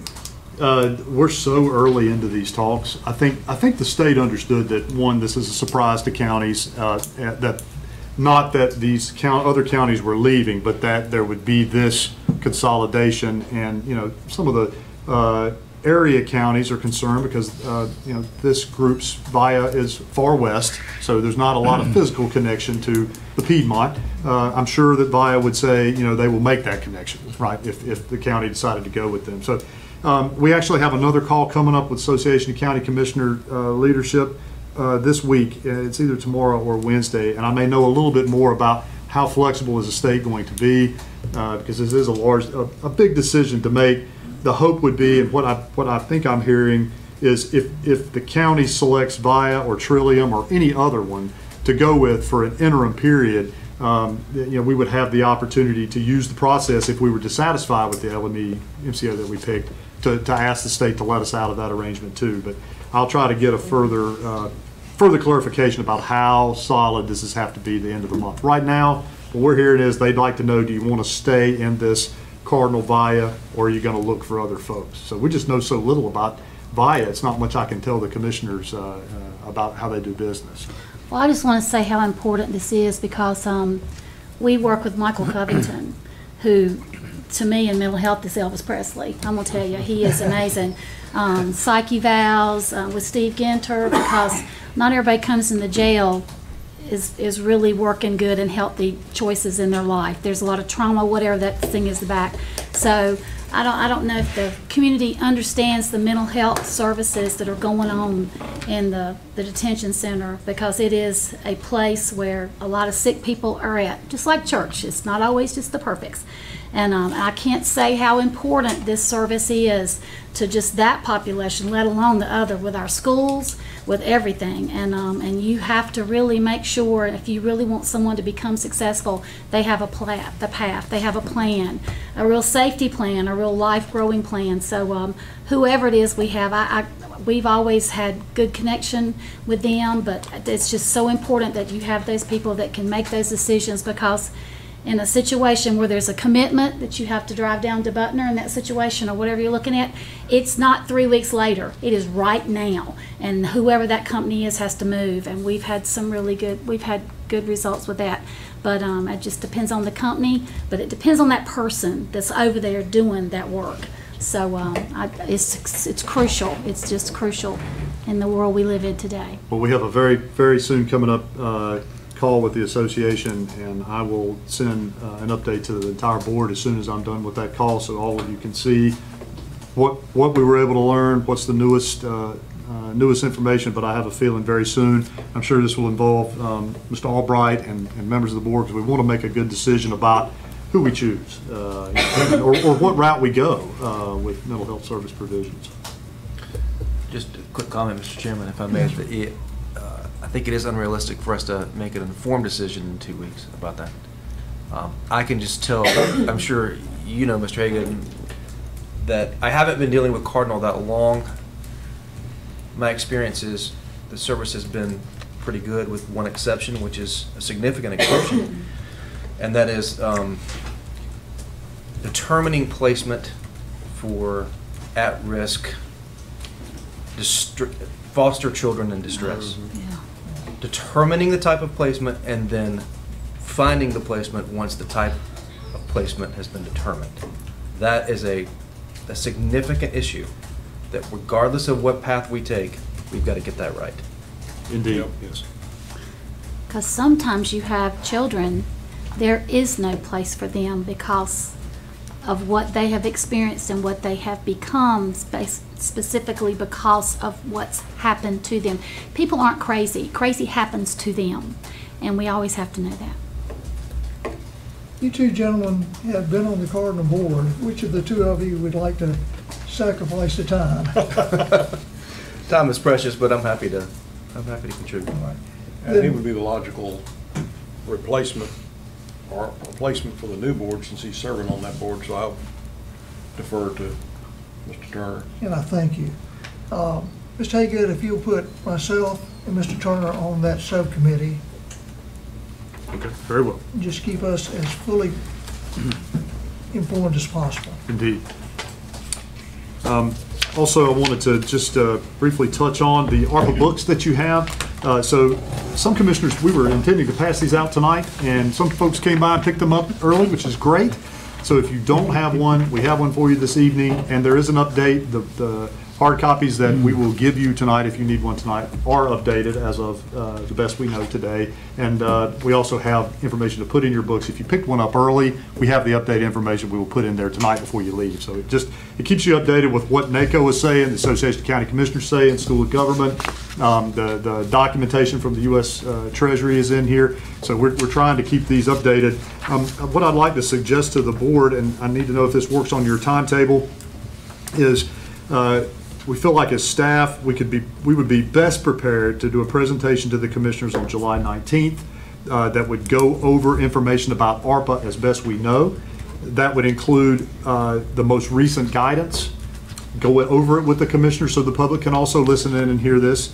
Uh, But our understanding is July 10th is when the interim guidance, when Treasury will decide this is now the final guidance. So uh, counties and different folks are making comments on the interim guidance.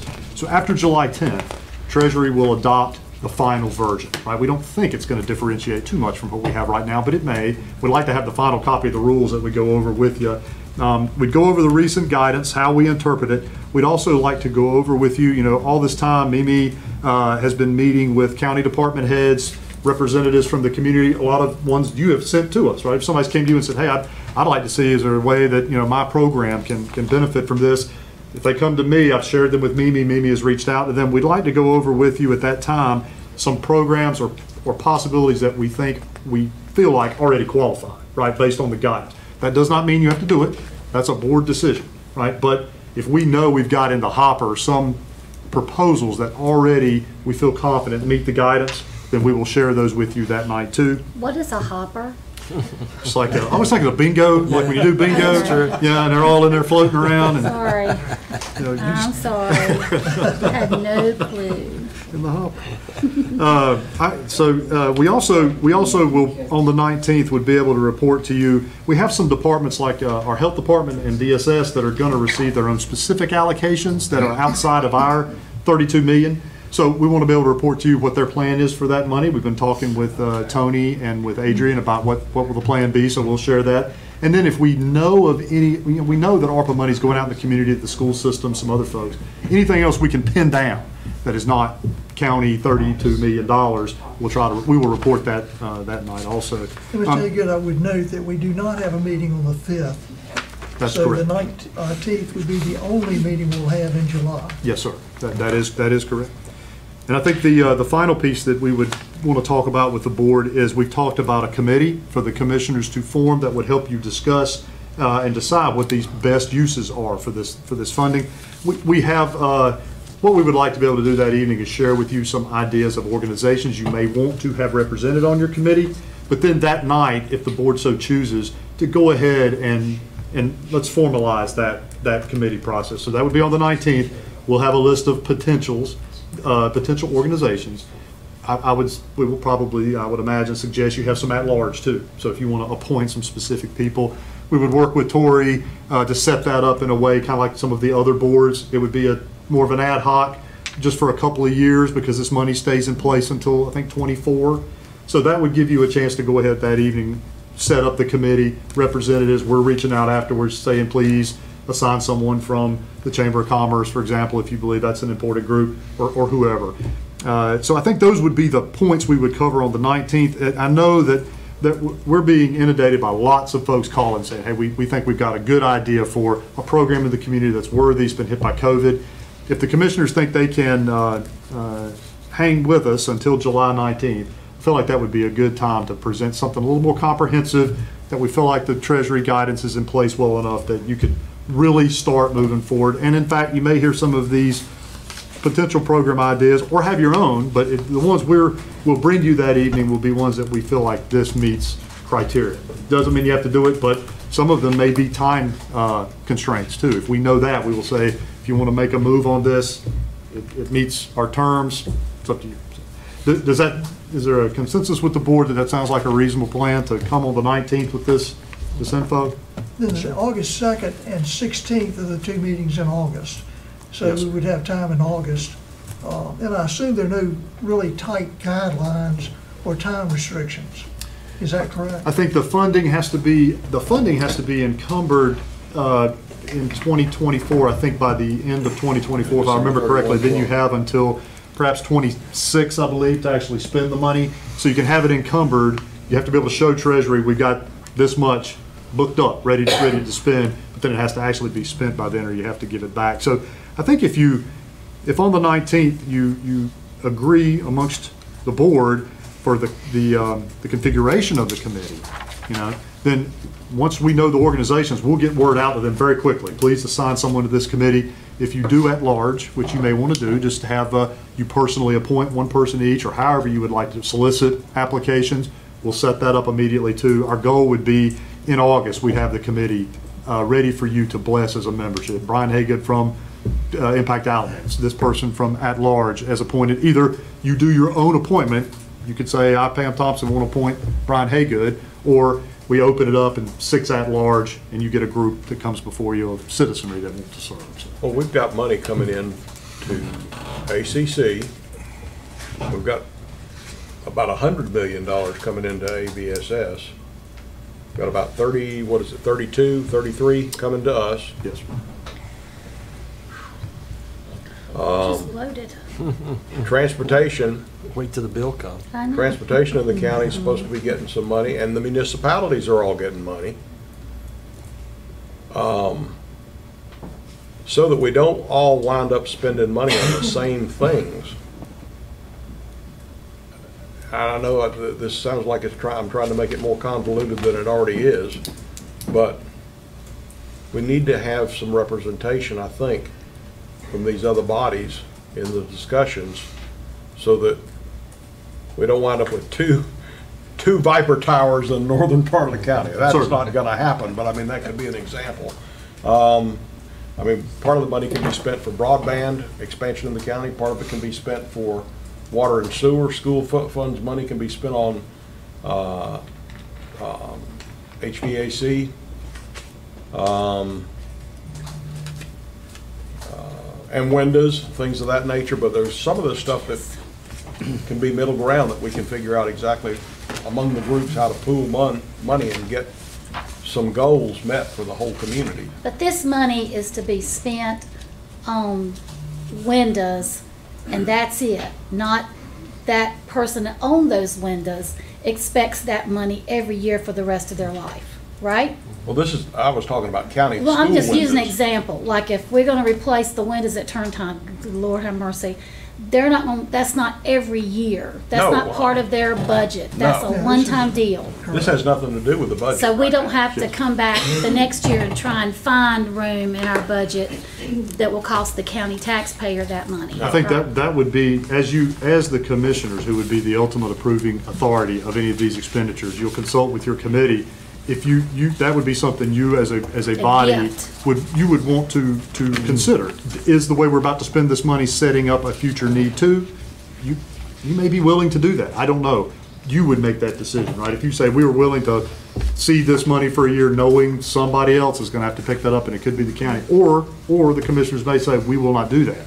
We will only spend this money in a way that it's a one-time spend. You know, we, we don't want to set something up that's gonna take additional county dollars afterwards. That would be the prerogative of the commissioners, of course. But I think, uh, I think this committee would be a good way to flesh that out. And I would imagine that anyone that the commissioners determine or, um, uh, would be beneficial to have on the committee, they will send a representative. So if you wanted ACC, ABSS, I I think that is wise because there are many other pots of money besides just ours that there could be good done for our community that might be, a. uh, what we're hearing is they're looking for these kind of partnerships. So if a mental health effort you want to take on or some specific mental health project you want to do, that could be one of the cities and the county going in together, perhaps Right. after the mental health pot of money maybe, not necessarily just the county's dollars. But that's the board we're setting, or the group we're setting up on July the 19th, is it not? I think you, the, oh, the decision to spend will be the commissioners. It- So the, the, the, the fleshing out of possibilities and, and arriving at what you want to do with it, I, I see in my mind, and you may not, and that, but this committee would be, would help you do that, representing interests from around the community that either have access to the money or know of potential good things to do. But then, once it's determined you want to spend X number of dollars on Viper Towers, it comes here right here before you to say, we have a recommendation from the ARPA committee to spend X dollars on a Viper Tower. Do the commissioners agree that, you know, that's what you want to spend it on? So you, it, it would be your authority given to spend the money. How many people are you thinking for this? Not like Jack, not that big. Yes, there, there's a, there's a level where it becomes unwieldy, uh, and it could be that you would want to subcommittee That some of it out. That means hard to get along with, right? Yes. Okay. Hard to, hard to get something actually Okay. done, yes. Uh, You know, you may wind up thinking about doing some subcommittees if, you know, mental health is one of the ways we're seeing that this money can be spent. You know, the, the the Treasury is saying lots of people suffered from, in a mental health capacity during COVID. So it may be you set up a subcommittee of people specifically thinking about mental health. You may want to say, out of our 32 million, we feel comfortable roughly earmarking this amount, tell us how it would best be spent in our community to spend X number of dollars on mental health services. Uh, You know, you don't want to, you hate to leave people out who have that expertise, but you also don't want a committee that's so huge, you, you, you- struggle getting anything actually done. Well, I agree, Ms. Thompson. Uh, yeah, Jack is a great committee and a wonderful get-together for Christmas, par- well, okay, they aren't quite that bad, but it's just so large that it just, um, it's really hard to work. Uh, But I would assume that on the 19th, we'll bring in some that, maybe somebody from Burlington, someone from Graham, whatever, and have input from the different municipalities that are receiving money, from the school board, from ACC, um, and all the players, but just have one member um, and keep it as low as possible. Yes, yes. And we'll look for your input for that. Well, the, the- I want to stress that, that the commissioners will make these determinations, but we will bring you possibilities and try to, try to keep it, um, um, you know, efficient, right? But, but, you know, eh, we'll bring you a list of people that we think we have heard, this, this, these folks might be valuable from this organization to have on the committee for the board to work with, uh, and, and have that to you on the 19th. Again, go over, go over some of this guidance and, uh, and and help get a committee formed so the board can start talking with the community about how to spend this money. We've received our first tranche, I think, of 16 million, so we already have that money now. Uh, It has been invested, I believe. Uh, Susan has, uh, has worked to have it invested, so we're holding it. It's ready to be spent once the board finds uh, what you value to spend it on and that is uh, uh, compliant with uh, Treasury guidelines. And we'll have that information by, you think, July 10? The 10th is the date that, uh, from my understanding, the Treasury finalizes their guidance. It- it- It's interim plan right now. Again, I I don't think it will change dramatically, but, uh, you know, it- seems like it would be best to wait for them to give us the final set of their rules that they have blessed. I just would like to make a suggestion.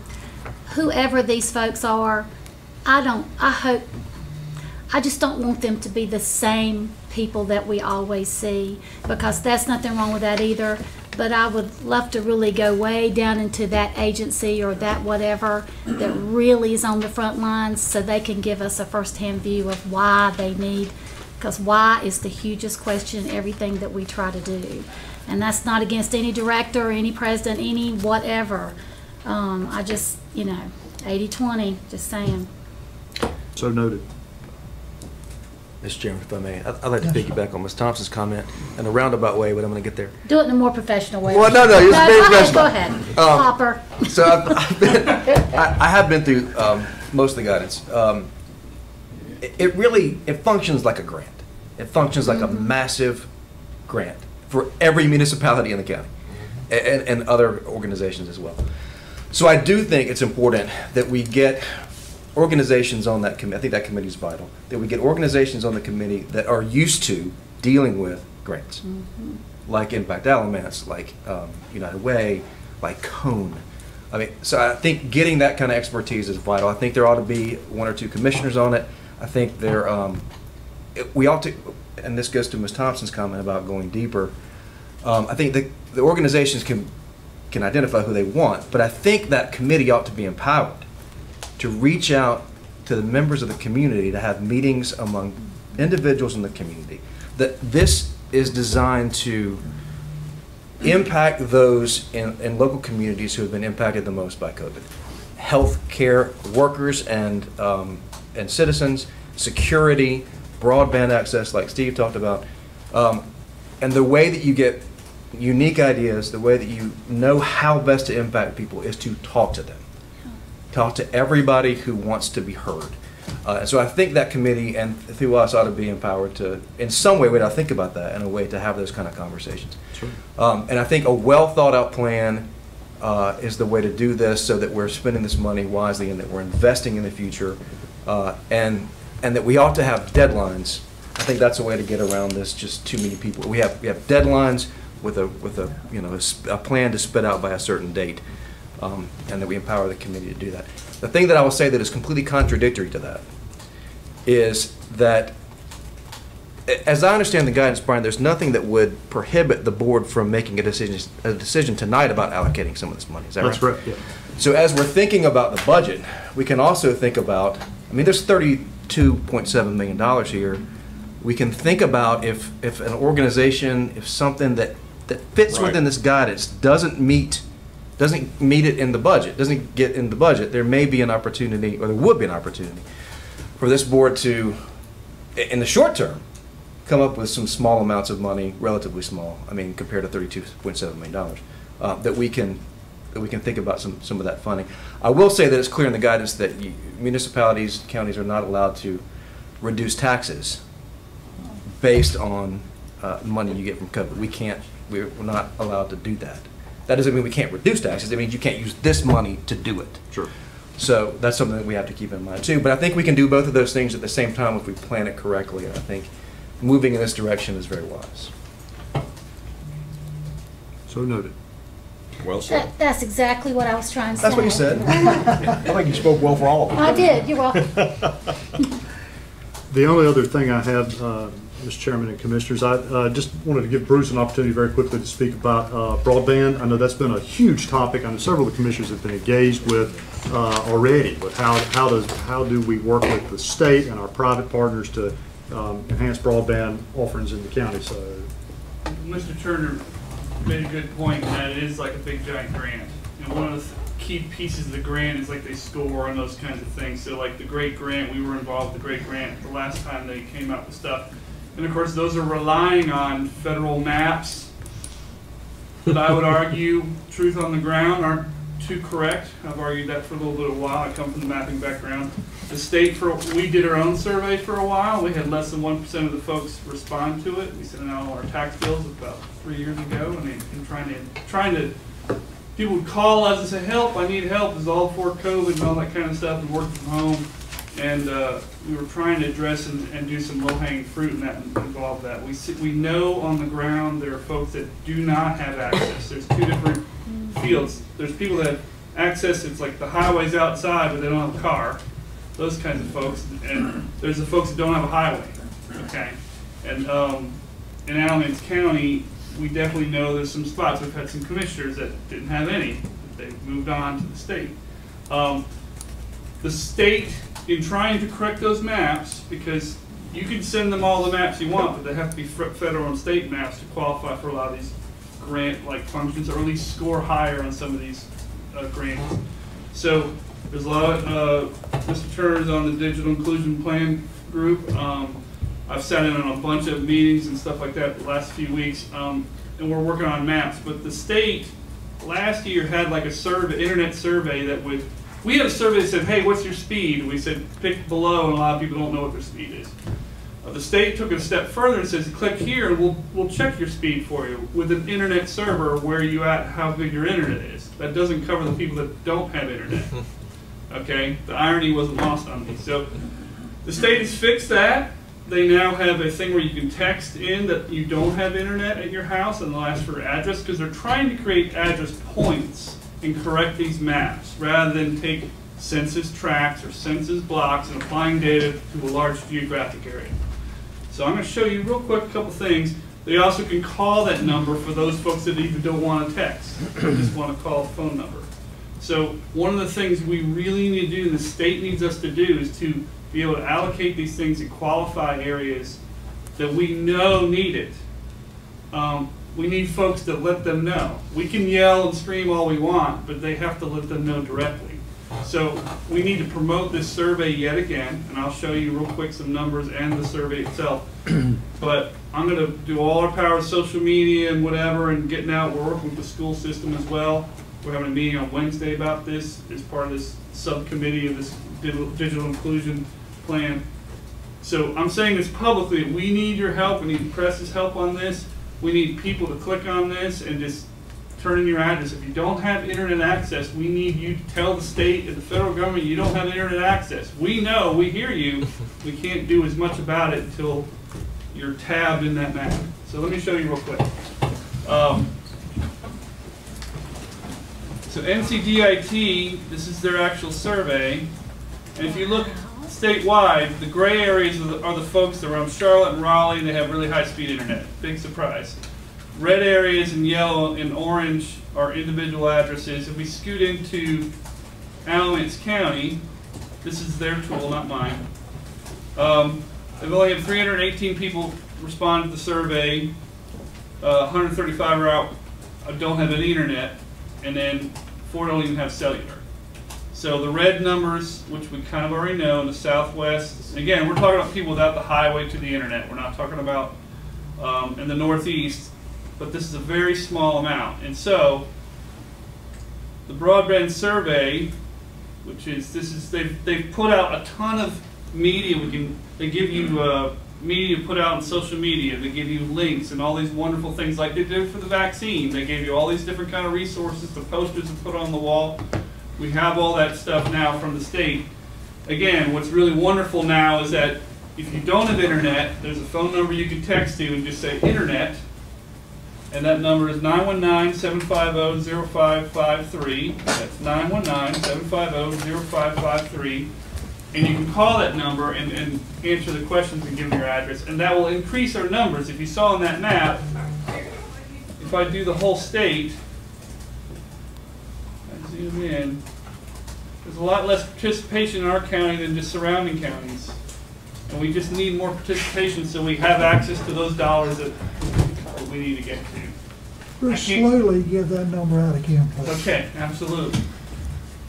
So that number you can text internet to, and we'll put out all this.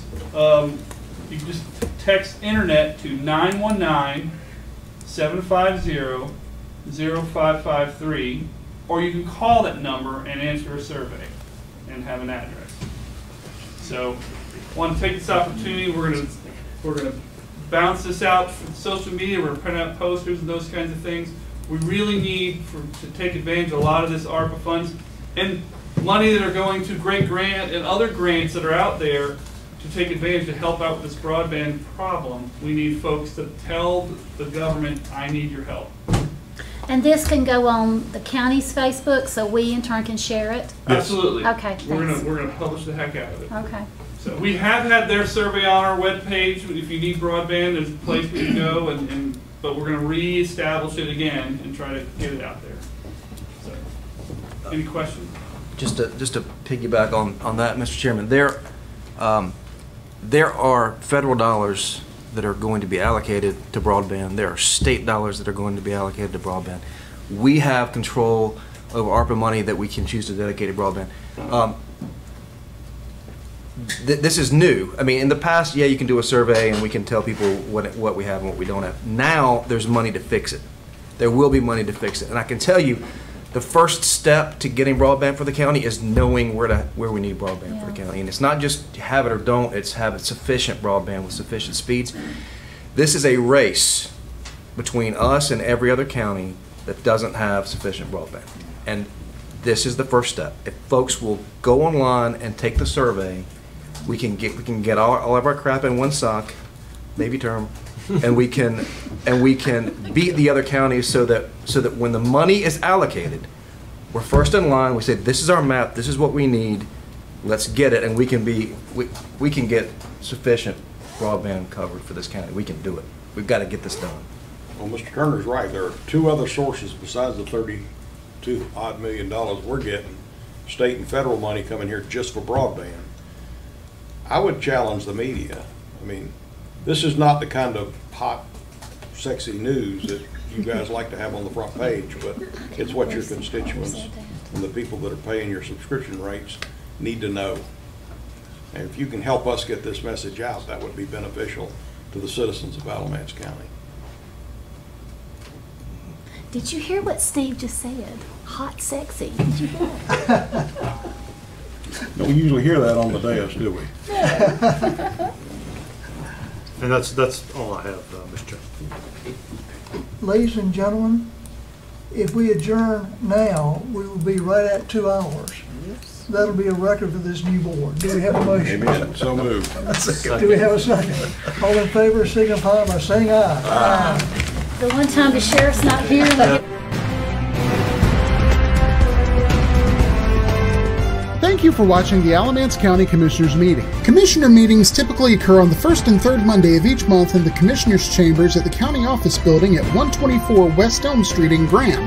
The first Monday meeting begins at 9:30 a.m. and the third Monday meeting begins at 7 p.m. Changes to the meeting schedule will be posted on the county website at www.alamance-nc.com. The video of this meeting will be broadcast on LocalGov TV. Please go to www.localgovtvnc.com for more information about their schedule and to see more videos produced by your local governments. You can also access this meeting through our YouTube channel at www.youtube.com forward slash Alamance County NC or by clicking the YouTube link on the county website. Technical questions regarding this meeting's broadcast or production may be sent to our county webmaster at webmaster at alamance-nc.com. This address is for technical questions only. Comments and questions about the content of this meeting may be made to the commissioners themselves. You can find their contact information at the Alamance County website at www.alamance-nc.com. There, you can click on the link that says County Commissioners to learn more about the commissioners, read minutes and agendas of commissioner meetings, and find other information about the county commissioners. You can also send mail correspondence to County Commissioners, 124 West Elm Street, Graham,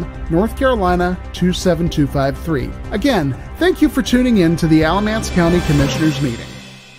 Thanks for tuning in. If you're watching on YouTube, be sure to hit the subscribe button to stay up to date on all our latest video content. If you're watching on LocalGov TV, be sure to visit their website to see all of the content made for you by your local governments.